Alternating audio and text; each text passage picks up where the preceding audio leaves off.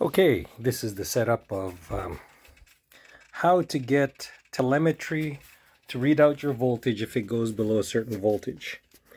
This is the setup in logical switches. So if, so the source, the name is BAT, okay? Source here is RX BAT 2.4. I have two receivers in here, so I'm taking it from one of the two value 7.27 always on. Okay it's not assigned to a switch. So watch what happens here. If I change this oops not all not that one this one to 7.9 volts you see how it reads it out? volts 7.9 volts so I'm going to put this back. And uh,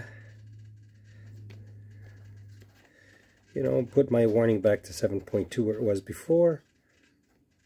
Okay. And, okay, so now, on this one, it's logical switch, 3 RX bat, 2.4 gig is less than 7.18, then it's active. So let's show you what the the actual special function switch is. So yeah, I got tons of special functions. So here, I have somewhere here. It's called BAT.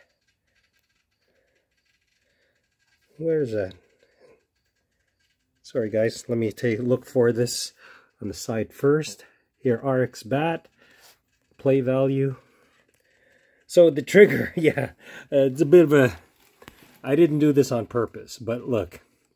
The condition is BAT, right here, uh, right there.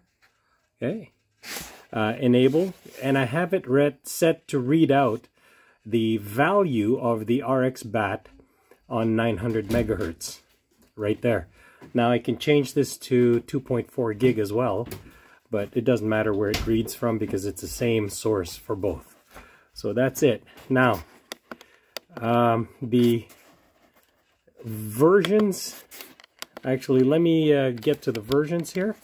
So on the info screen, I'm at TD-ISRM 1.4, ah, 2.1.9 FCC. Um, I'm at, uh, well, anyways, receiver 2, 1.1.0 and 1.1.1 for the two receivers. And this is 1.1.10 FCC. Hope this helps.